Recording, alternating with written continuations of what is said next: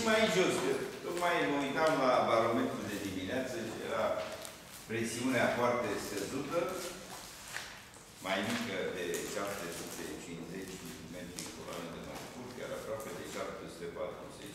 Este o anumită problemă și tocmai mă gândeam uh, la anumite aplicații ale cursului de astăzi pe care vreau să le discutăm și când am văzut o presiune așa mică la barometru și vremea asta relativ imposibilă, am zis au venit în sprijinul unei aplicații pe care o să o prezentăm la sfârșitul cursului. Sper să ajung la ea. Ca să vedeți cât, ce înseamnă să fie o presiune atât de mică și, Doamne ferește, ce se poate întâmpla dacă într-un loc este o presiune foarte mică și în altul este o presiune foarte mare, cum știți. Așa, dintr-o relație a lui Bernoulli foarte simplist aplicată, viteza V este un radical din 2 delta P supra rho. Nu.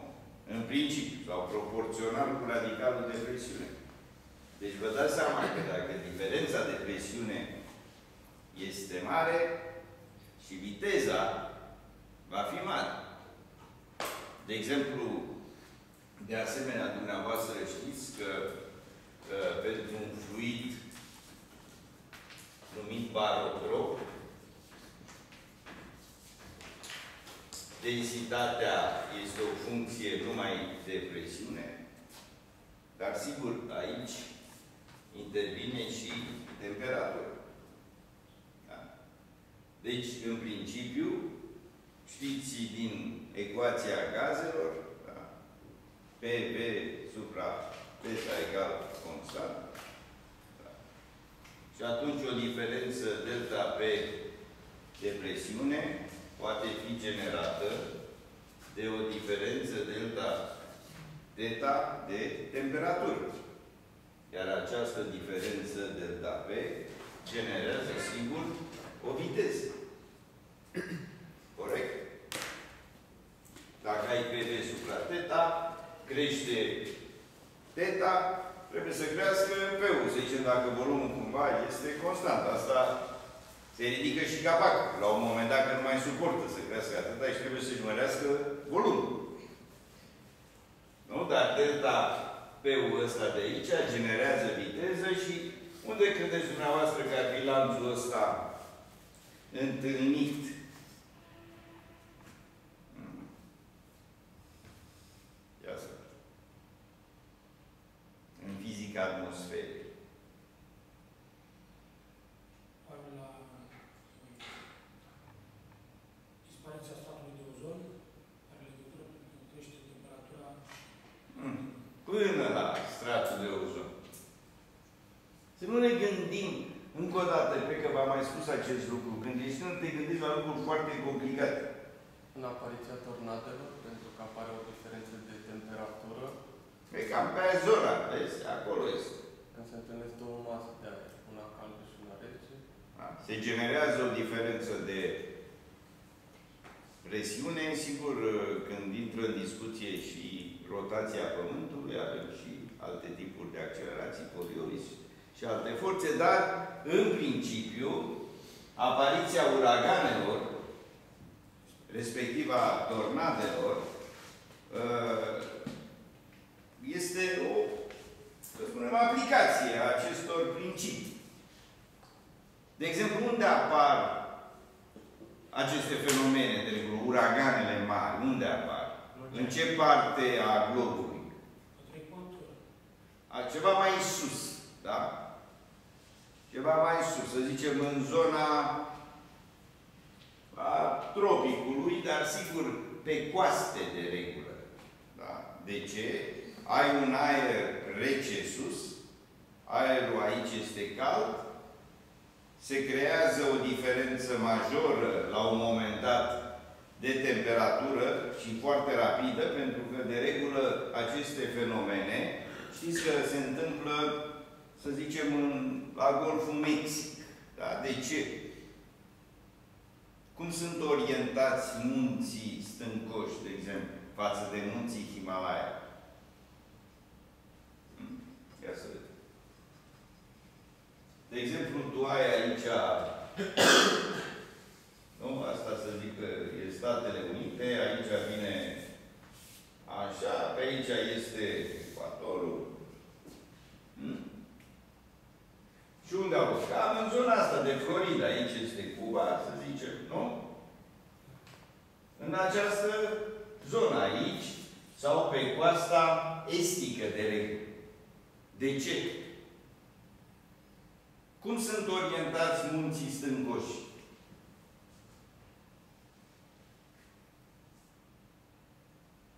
Dacă aici, de exemplu, pe partea cealaltă, sigur aici este Africa undeva, aici ar fi India, nu, aici este Rusia, India și aici este China. Aici este USA și aici este Canada. Iar aici este America de Sud, cu zona de America Centrală. Ia spuneți-mi. Știe cineva cum sunt orientați munții stâncoși? De la nord la sud. Adică așa. Da. Nu? Munții stâncoși. Aici vine Mexic, undeva, după care vin munții Anzi. Da? Și spre partea de vest. mai mult decât și- Iar masivul Himalaya cum este orientat? De la est la vest. Așa. Asta este Himalaya. Da? Aici este Polul Nord. Aerul rece poate să ajungă foarte rapid, deoarece nu are niciun fel de obstacol.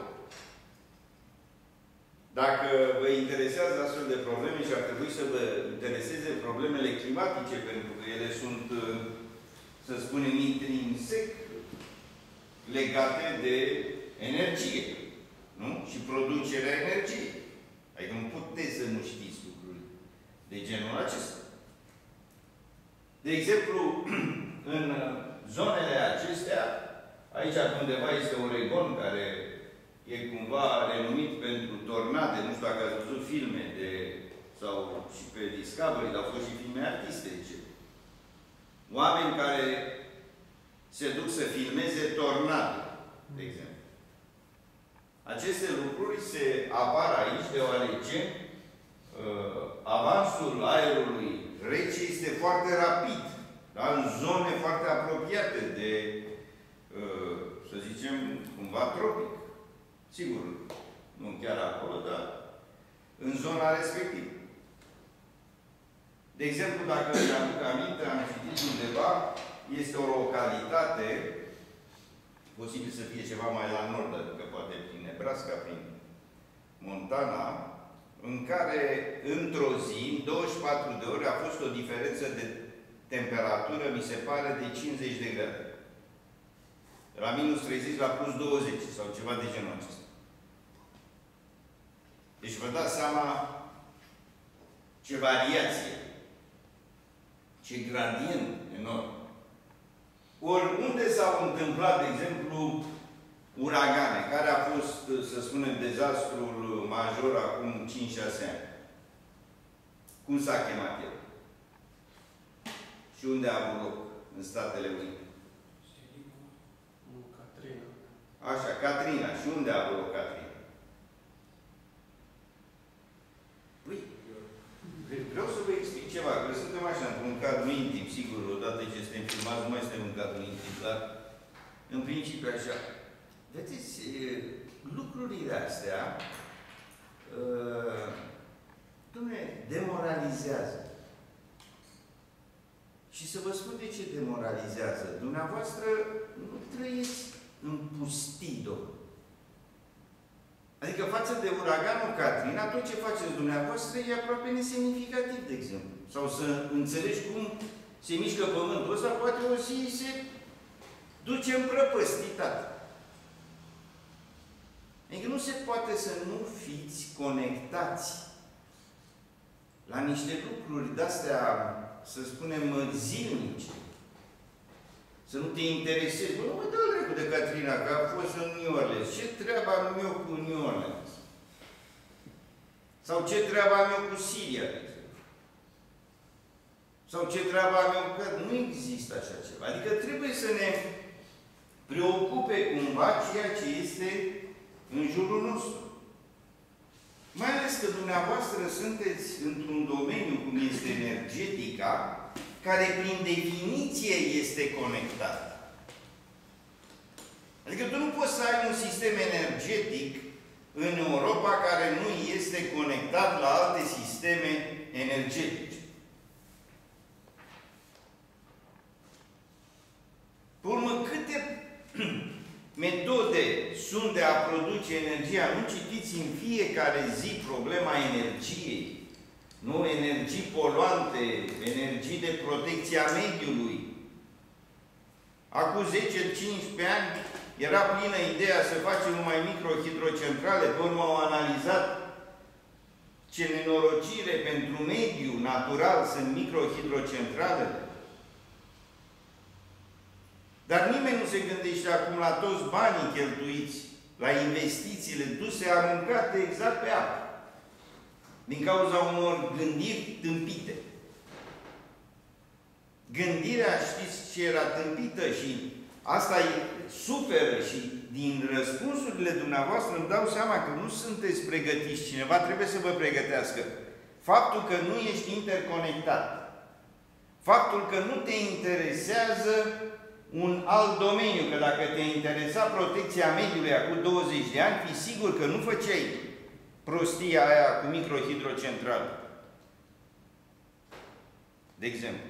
Sau faci centrale nucleare. Bun, hai ne facem centrale nucleare. Ce facem cu rezidul? Unde îl depozităm? Alții îl trimite în spațiu cosmic, tată. Dăm o rachetă așa până cu reziduri. Unde s-o duce, s-o duce. Parcă văd că vine înapoi. Așa se întâmplă. Vedeți, deci întotdeauna trebuie să avem aceste lucruri uh, în vedere. Deci ăsta este un fapt. Celălalt fapt, știți foarte bine, este legat de, să spunem, cultura umană. Trebuie să înțelegem cumva, astăzi vom vorbi de câteva nume, de exemplu. Un nume Kelvin, Helmholtz, Lem, Rankin, Poate ați mai auzit de Rankin, de exemplu. Doar a lucrat uh, în mai multe zone. Taylor și așa mai departe. Bă, trebuie să știm cam când au trăit, de ce a fost boom ăla, dacă vă uitați toată originea și, în general, știința noastră a fost făcută la final de secol XIX. Dacă vă uitați la progresul științei la final de secol XIX, și până în primul război mondial, veți vedea că progresul a fost imens. Și, în principal, ă, să spunem, acest progres de natură fundamentală, până să se dezvolte în secolul 20 aplicații. Să ne întrebăm bine, nu, dar de ce atunci? Și dacă te uiți în istorie, tu vei vedea câteva lucruri foarte interesante ca să ai o explicație. În primul rând, după ce s-a terminat cu Napoleon, nu, care, să spunem, a introdus aceste idei ale libertății individului în Europa, practic, nu au mai fost conflicte. Deci, în Europa, cu excepția poate a Imperiului Otoman în zona asta, nu au fost conflicte, adică a fost perioada cea mai îndelungată după Napoleon și atunci schimburile la în sfârșit se ducea, adică au mai fost sigur conflicte de-astea între Germania și Franța, așa, Anglia pe de-o parte, dar în general, lumea a fost mai stabilă. Deci a avut, să spunem, timp să clădești ceva. Pe urmă au fost perioadele acestea de revoluții, deci de la Napoleon, Revoluția franceză, pe urmă 30 pe urmă să spunem 48.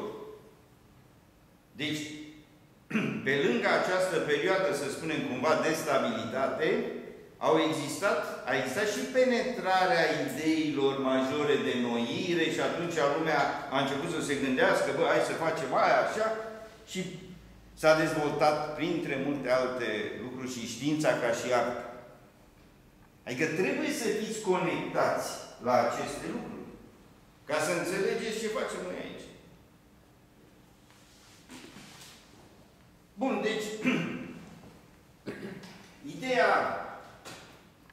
pe care am dorit să o subliniez și la care sigur am plecat a fost vremea asta oribilă de afară și faptul că suntem într-un raport de 2 la 2, 4, 6, 8, 10, 11. 2 pe 11, adică 2 profesori și 11 studenți. Astăzi vom discuta în special de uh, despre circulație. Circulația principiul vitezei. Circulația vitezei. Și aș vrea să vă readuc aminte că în ora trecută, de fapt în cursurile trecute, când tot discutam despre forțele ce acționează asupra unui profil, am văzut noi că există o forță portantă, iar această forță portantă are o expresie dată de Kuta Jukovski, exact la finalul cursului am discutat acest lucru, și este egală cu rho V infinit gamma, în care V infinit, sigur, este considerată viteza de la infinit. Aici avem profilul, aici este punctul de atac, punctul de fugă și, să zicem, coarda L a profilului. Știți că aici sus este extrados, iar aici jos este intrados, o forță portantă care apare datorită cărui fapt? Diferența de presiune care este generată de o diferență de viteză. Da? Viteza pe partea superioară aici, dacă merg așa, este o viteză VE egal cu V infinit plus un V mic, iar în partea de jos, aici, viteza VI este egal cu V infinit minus V. Deoarece aici V infinit, iar când ele se unesc aici, la capăt, voi avea tot un V infinit, undeva, în apropierea respectivă, sigur. Chiar ori această diferență de viteză generează o diferență de presiune. Haideți să vedem care este această diferență de presiune. Nu e un lucru foarte complicat să avem. Dacă avem două linii de curent foarte apropiate, sigur aici avem un același punct în care am viteza de la infinit și presiunea P de la infinit. Deci dacă acesta ar fi, să zicem, punctul 1, atunci voi aplica relația lui Bernoulli între 1 și E și pe urmă relația lui Bernoulli între 1 și I. Adică într-un punct aici generic de pe extrados și un punct pe intrados, apropiate de profil, pe linii de curent. Deci vă dați seama că înseamnă că energia asta este aceeași aici. Deci vom avea că PE plus rho pe 2 VE la pătrat trebuie să fie egal cu PI plus rho supra 2 VI la pătrat. Nu? Și egal cu P infinit plus rho supra 2 V infinit la pătrat. Din relațiile lui Bernoulli.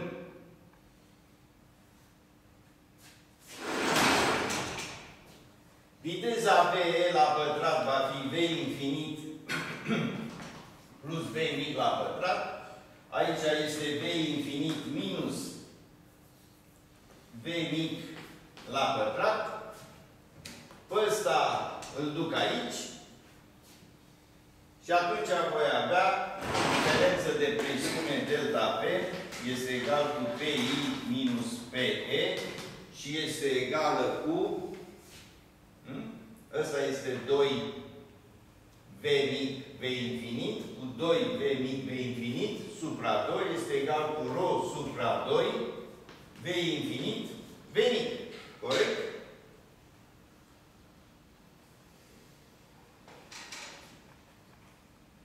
Deci aceasta este diferența de presiune. Unde V mic este diferența de viteze. Pe extrados se adună, pe intrados se scade. Sigur, este o explicație, să spunem, simplistă a fenomenului, dar în principiu este corect. Ce facem acum cu acest V infinit de aici? Cu V infinit, să zicem că îl cunosc, cu V mic. Forța respectivă, forța portantă, va fi o integrală pe o suprafață din delta P ori dA. Da? dA considerăm că este L ori dx ori unitatea, adică cumva profilul este perpendicular pe tablă, iar L este coarda profilului, și atunci această forță pe unitatea de lățime va fi egal cu delta V ori L. Pentru că X merge, să spunem, de la 0 la L. Cu o anumită aproximație. Deci, de mulțim cu 1. Pentru că trebuie să fie metru pătrat. Da? Haideți să vedem acum cât este însă circulația în jurul acestui profil. Vă reamintesc, circulația gamma este o integrală pe o curbă C închisă din V de X. Da? Deci dacă am o curbă închisă, cum este acest profil, aici merg de la stânga la dreapta și aici mă voi întoarce și se vede că viteza V va fi diferența de viteze. Da? Aici este VE minus VI, iar X-ul merge cu L. Mă duc o dată așa și o dată așa.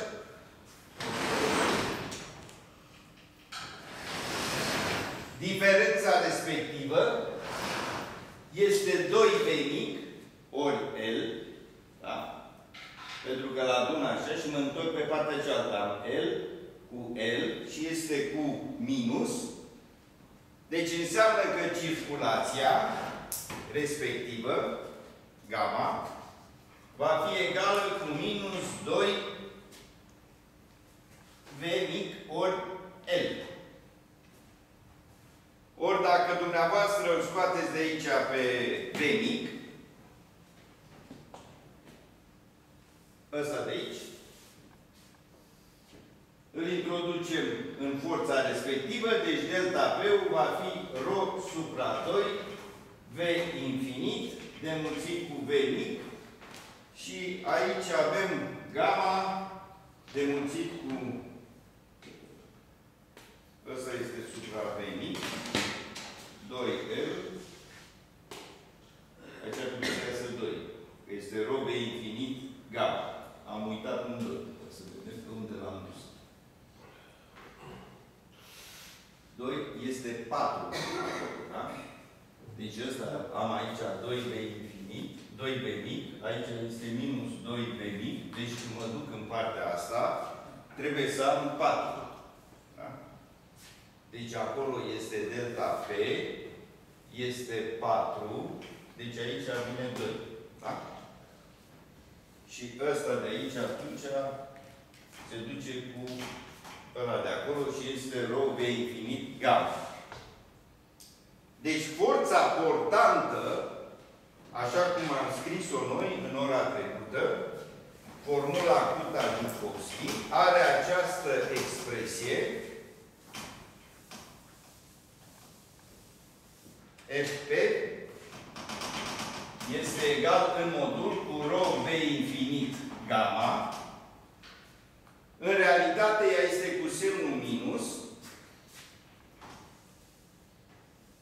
deoarece viteza de la infinit vine așa, acesta este gamma, iar forța respectivă acționează pe direcția lui V infinit, însă se rotește cu 90 de grade în direcția opusă circulației gamma. Și atunci forța portantă este în această direcție. Deci aici, teoretic, dumneavoastră, dacă nu lucrăm în modul, trebuie să puneți semnul minus.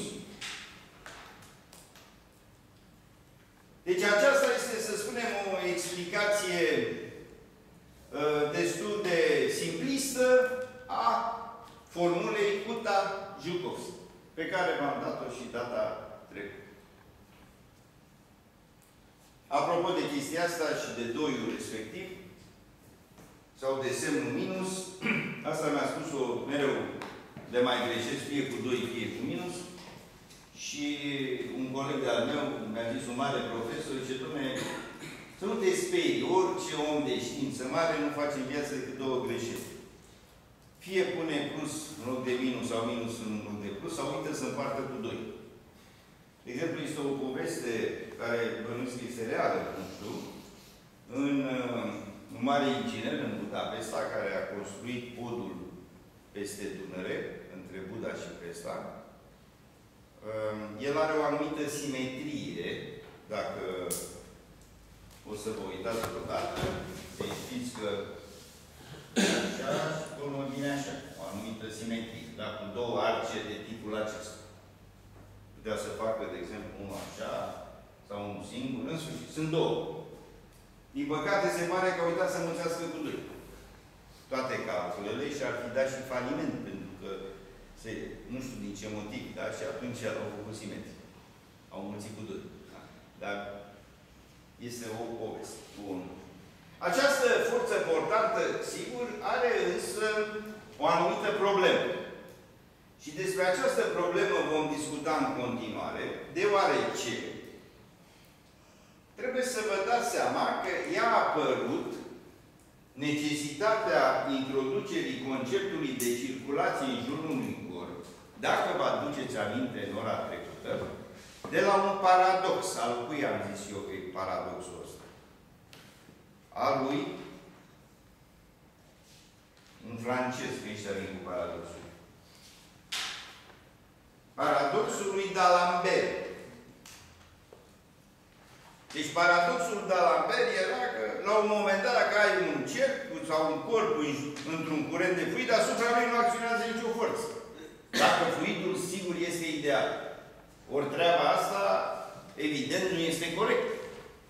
Deci să ne amintim că ce făceam noi pe aici era în secolul XIX, când lumea nu folosea efectiv, sigur, ei știau ecuațiile Navier-Stokes, Știau de plecare, dar modelul fluidului ideal, respectiv studiul curgerilor în mișcări potențiale, era foarte la modă, matematica era foarte solidă, special pentru mișcări plane, deci în două dimensiuni, și atunci s-au făcut tot felul de, a zice eu, mișculații pentru a putea explica fenomene din realitate. Cum ar fi, de exemplu, această forță portantă, că nu se explica altfel. Și atunci s-a introdus conceptul de circulație și s-a făcut, să spunem, această mică uh, acest mic calcul. Sigur, demonstrația e, nu este foarte corectă aceasta, dar vă dă dumneavoastră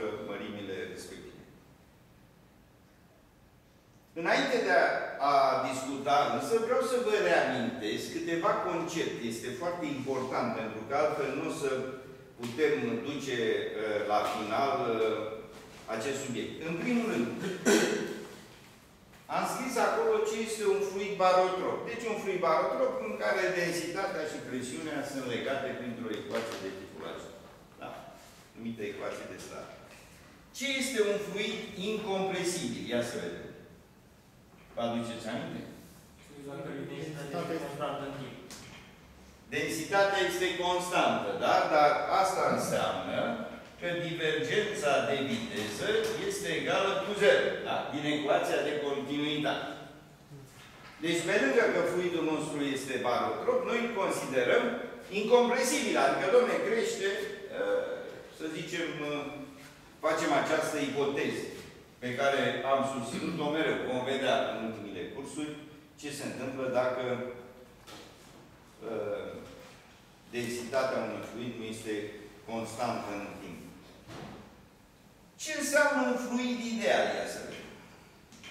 Nu are viscozitate. Nu are viscozitate. Deci viscozitatea este zero. Dacă nu am viscozitate, nu voi avea frecare.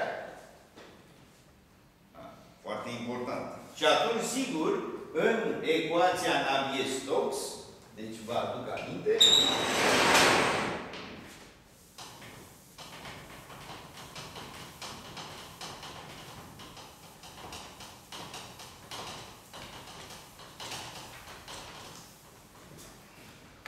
încă o dată, rho dv la dv v ori nabla aplicat v este egal cu rho de mi minus gradient de v plus theta 0 la plasian de v. Deci acest termen va fi nul. Da?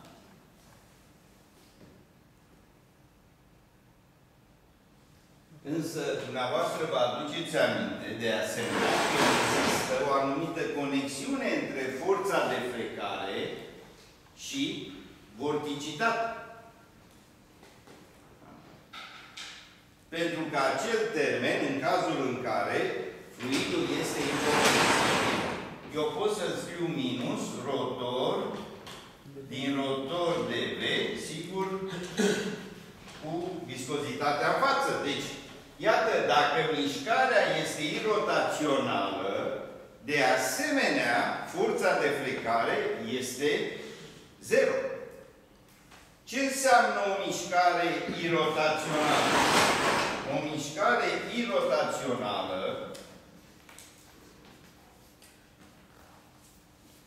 înseamnă că rotorul vitezei este egal cu zero și atunci viteza derivă dintr-un potențial. Adică eu pot să scriu că viteza V este egal cu un gradient de phi. Pentru că întotdeauna rotorul unui gradient este egal cu 0. Dar dumneavoastră, teoretic, aceste concepte le știați din primul semestru. Dacă te uiți la examenul de pe primul semestru, tu vei vedea că acestea erau întrebările. 1, 1, 1, 2, 1, 3, cum se definește mișcarea rotațională, ce este un fluid ideal, cum se definește circulația. Vedeți? Deci facem apel la memorie. Dar dacă dumneavoastră sunteți în starea asta pe care noi o denumim fading memory. Adică uităm. Ce facem atunci? Cum progresăm?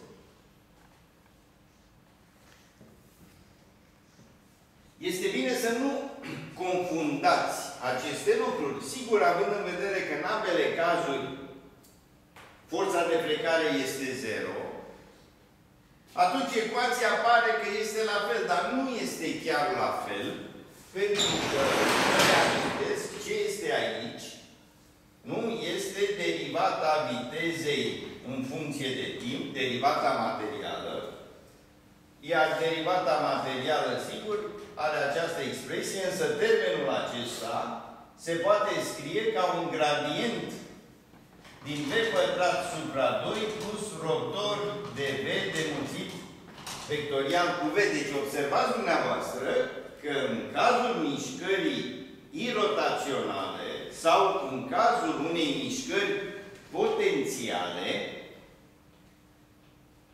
mai dispare un termen din accelerația convectivă. Deci lucrurile nu sunt identice. Mai ales la relația lui Bernoulli despre care am vorbit, dar nu intrăm în amănunt. Vă reamintesc încă o dată ce înseamnă rotorul vitezei. Rotorul vitezei are semnificația rotației locale a unei particule de fluid. Deci eu pot să am particule de fluid, de exemplu, dacă am o curbă, ce?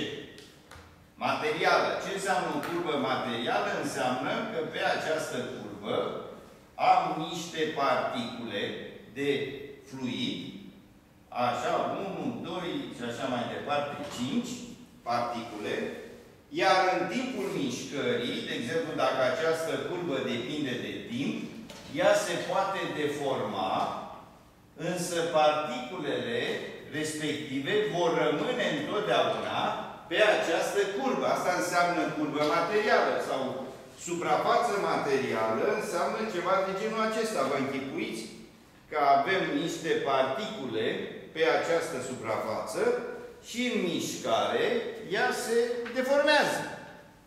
Însă particulele, odată aflate pe această suprafață, vor rămâne pe această suprafață. Adică o particulă de aici nu pleacă de pe suprafață. În cazul acesta, se cheamă că este suprafață materială, adică derivata lui C în funcție de timp este identic 0.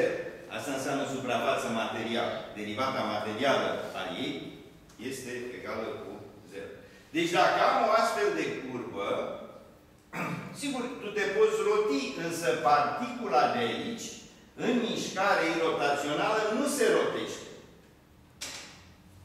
Vedeți? Eu pot să am o rotație a fluidului la nivel macro, Deci fluidul se poate roti cu viteză V, vedeți această particulă, însă ea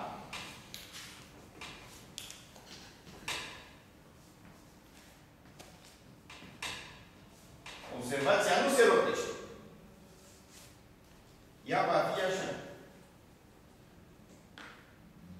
Și asigur, sigur, aici voi avea un vârtej și voi avea o circulație.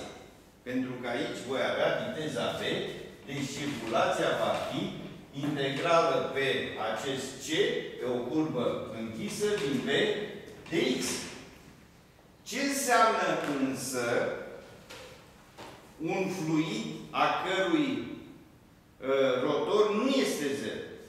Înseamnă că această particulă, când se află aici, deci ea nu va mai fi în această poziție, ci va fi într-o poziție de tipul acesta. Vedeți? Ea are și o mișcare de rotație a ei. Când aveam, când discutam noi în semestrul trecut despre aceste mișcări de forfecare, da, particula, știți, nu merge numai așa, ea se și rotește. Da?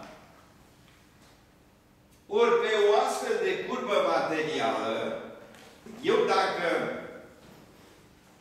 calculez circulația, voi vedea un lucru interesant, că în cazul fluidului ideal, deci fără viscozitate, variația circulației în timp este zero.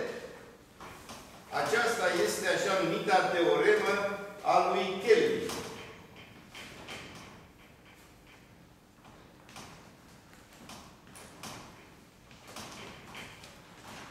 D gamma la dt este egală cu 0. Dacă fluidul este ideal, se poate demonstra acest lucru, nu este foarte complicat. Trebuie să știți să faceți acolo derivata unei integrale. Dacă doriți, vă arăt acest lucru. Ce, de unde provine chestia aceasta? De fapt, ea este relativ uh, simplă când faceți derivata aici, C-ul ăsta depinde de timp și atunci intri cu ai dv la dt. Vedeți? Ori dx, după care mai vine încă o parte a integralei, că se derivă și ăsta în funcție de timp, dar fiind suprafață materială, cu dc la dt egal cu 0, termenul respectiv se anulează. Și atunci tu nu vei avea aici pentru fluid uh, incompresibil în cazul acesta, din divergența vitezei trebuie să fie egală cu 0. Deci, în cazul fluidului incompresibil, cu divergență de V egal cu 0, asta înseamnă că voi avea dV la dt ori dx pe C. Ori dacă fluidul nu are viscozitate, cine este egal dV la dt de aici? Va fi B mic minus gradient de P, ori dumneavoastră știți că B mic este forță masică potențială, deci el se scrie B mic ca minus gradient din pi, în care pi este potențialul forțelor masice, și atunci rezultă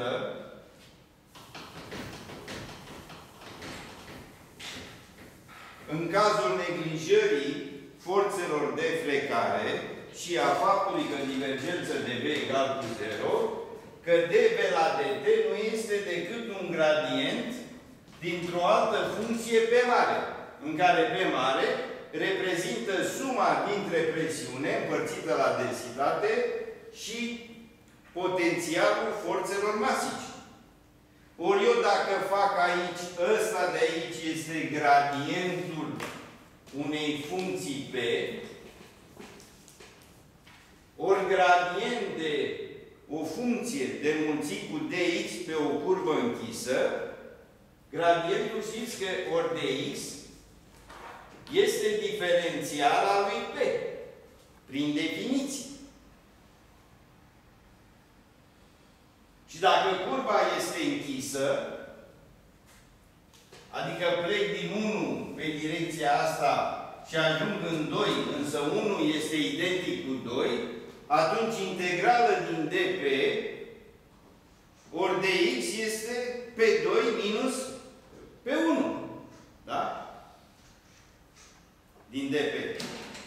Pe 2 minus 1, dacă pe 1 e identic cu pe 2, înseamnă că este 0. Deci, vedeți, pentru un fluid ideal, această teoremă este valabilă. Iar nu este valabilă pentru fluide viscoase. Și aici este însă o problemă, dar pentru cei care vor dori să studieze în continuare mecanica fluidului. Deci această teoremă spune mie că această mărime, circulația, se conservă în timp pe o curbă materială. Da? Și mai vedeți câteodată uh, niște delfini că fac acele rotogoale și trec prin ele cu aer. Da? Alea sunt, de exemplu, astfel de suprafețe materiale și circulația se conservă. Pe ele, sigur, în final se disipă datorită viscozității, dar o bună parte ele rămân. Bun, să facem o pauză.